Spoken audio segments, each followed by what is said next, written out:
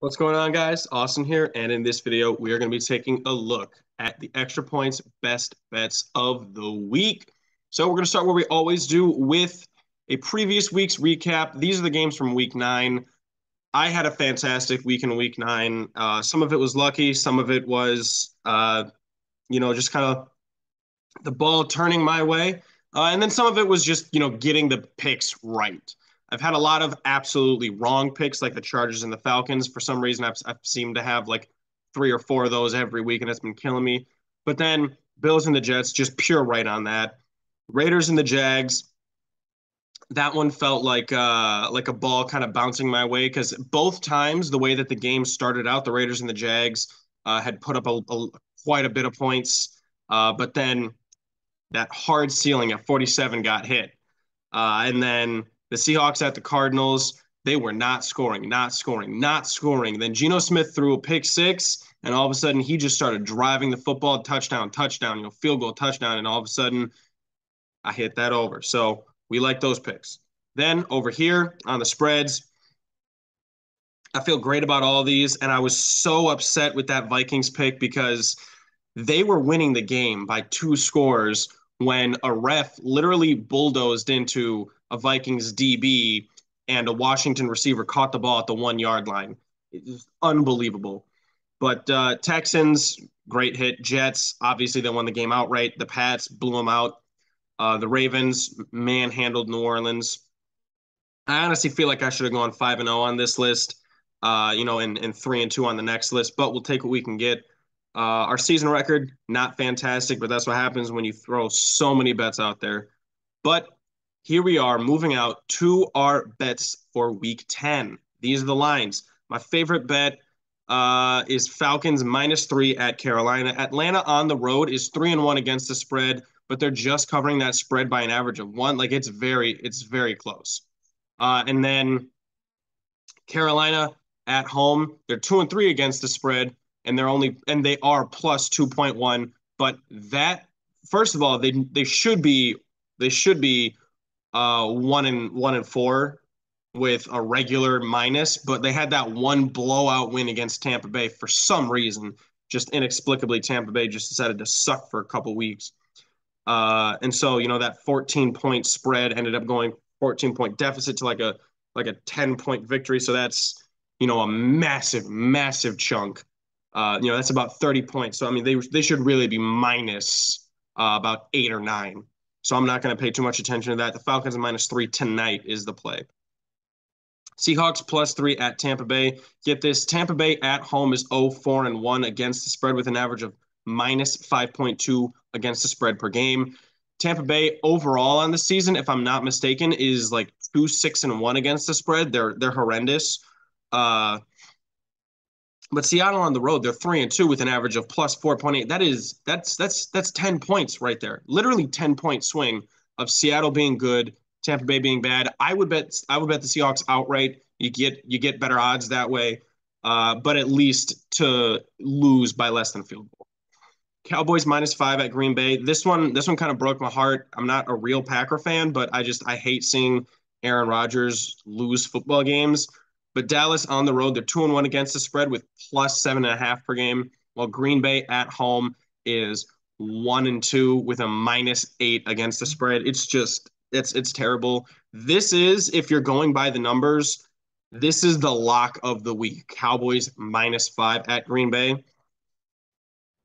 Now, if you're going by it, there's no way Aaron Rodgers loses six games in a row. There's no way Aaron Rodgers loses to Detroit and then doesn't respond. Like if if if you're going by the mentality, the storylines, I'd be careful by this game. But smart betters, the numbers, all on Dallas. The Giants minus four and a half versus Houston. They're at home. Giants at home are three and one against the spread, covering by two point six. While Houston on the road, they're okay. They're two one and one, about average, and they're covering by one point six. I like the Giants here because they're coming off of a bye. Uh, now, Houston, you know, you, they kind of mitigate that by coming off of that Thursday night football game against the Eagles. So they have a little bit extra rest, but not like the Giants do. And good football coaches with the bye end up coaching very good games. So I'm taking Brian Daboll and the Giants minus four and a half. And then I like the Eagles minus 10 and a half versus Washington. Now, so far this year, large spreads have not been great, but here, here's what we have. Philadelphia at home is 4-0 against the spread, covering by minus 7.1. Washington on the road is 2 and 2 against the spread with a minus of 3.3. Both of their last two games against Taylor Heinicke, they're undefeated. I think they're going to come down to earth. Plus, the Eagles have a long rest coming off of that that Texans victory, that that Texans trip out to Houston. Uh, and so, you know, plus this one follows a zigzag method. You take a team that didn't cover the Eagles last week versus a team that did cover the Commanders. By all accounts, these are some great bets. Uh, only only one underdog and only one large spread, only one touchdown plus spread. Uh, I still like the Eagles there. Um, pretty soon, I think the wheels are going to come off for Philadelphia, but not yet. Now we're going to move to the over-unders. I like Arizona at the Rams under 43 and a half. The Rams at home are 3 and 2 on the under, but they're minus 2.5. While Arizona on the road is 2 1 and 1. So they both have winning records hitting the under, but they really have only had uh, you know, like you know, like close, close overs, and then they've had, you know, a bunch of massive unders. So I like the under here. Plus, I hit the under the last time they played.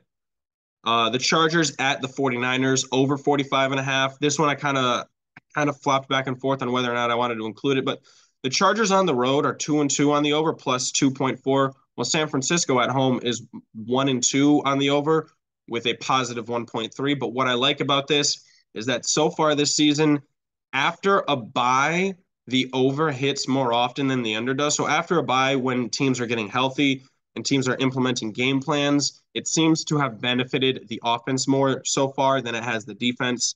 The Chargers have a porous defense, but a powerful offense that can really get hit everywhere. Uh, Keenan Allen might play. I, I would like to see him play. I like him as a receiver, but uh, the over on this one, it's a very close one, but I think, I mean, it really just feels like, you know, this this is coming for a, you know, like a 27-25 type of victory. Now, Dallas at Green Bay, the under. This one was really difficult, but Dallas on the road, they're one and two with a with a hard under, uh, minus 2.8. And Green Bay at home, they're two and one on the under, but they're still minus 1.7. So both are in the negatives, uh, you know, at, at their respective positions right here. 42 and a half doesn't seem incredibly high, but remember, Detroit, the worst defense up to this point in NFL history, just held Green Bay to nine points. We'll see what Dallas can do. Now, Houston at the Giants under 40 and a half. I I'm nervous about I'm nervous about spreads or not spreads, but over unders that are below 42. But 40 and a half points. Houston on the road is two and two, hitting the under with a minus of 7.4. Now, and the real reason for this is defense travels, right? So if you have a if you have a team with a defensive identity like Dallas, like Houston, defense is going to travel better. So the under on that two and two uh, with the under record, and then 7.4 average below. That's great. And then the Giants at home, they're three and one hitting the under with a with an average of minus 4.1. The the Giants, whether we realize it or not, are a defensive team. Like I know that like Saquon and Brian Daboll and Daniel Jones, like like they're a nice story. The Giants are a defensive team. Uh, so this 40 and a half, it feels low, but I think I think we can hit under it. And then Cleveland at Miami. This was the biggest shock to me maybe of my of, of my uh, entire season this year gambling is that I actually convinced myself to bet the under on a Cleveland versus Miami. Uh, you know, two teams that are just incredible on the overs. But what we don't realize is that Cleveland on the road is pretty bad on hitting the overs. They're two and one hitting the under with a minus 0.3. While Miami at home, their defense is incredible at home. That home that home field advantage is killing for them. They are 4 0 betting the under at home with an average of minus 14.4 points per game. 14.4 points per game below the over under. I don't think this game is going to be a 34 point game, basically. I don't think it's going to be a 34 point total, but all the math points to the under on this 48 and a half line. And it, it is the highest over under of all the games that I'm going to bet. So that's what we've got right there. Thanks for watching that video. Be sure to like and subscribe. Let me know what you think in the comments down below and stay up to date on all of our future content.